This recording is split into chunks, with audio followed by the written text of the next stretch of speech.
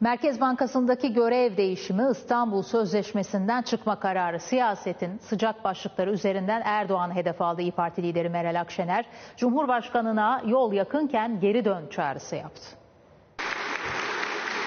Faizle mücadele ettiğimiz için İstanbul Sözleşmesi'nin fesi yüzünden malum lobiler, dış güçler bize saldırıyorlar demeyi düşünüyorsan şimdiden söyleyeyim yemezler. Türkiye bir yönetim kriziyle karşı karşıya dedi, gündemdeki sıcak gelişmeleri değerlendirdi. Cumhurbaşkanı Erdoğan'a seslendi. Bu gittiğin yol yol değil. Böyle olmaz. Böyle devlet yönetilmez. Yol yakınken geri dön.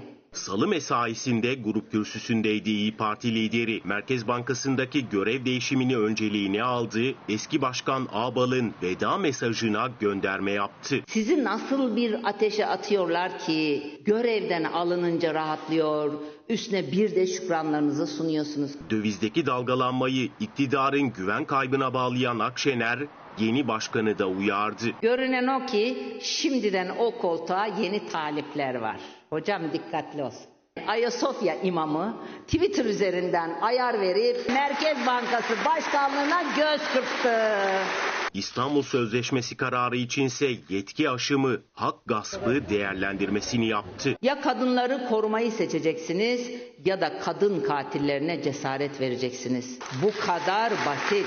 Sistem eleştirisini sürdüren İyi Parti lideri çözümün anahtarının güçlendirilmiş parlamenter sisteme dönüş olduğunu savundu. Evet.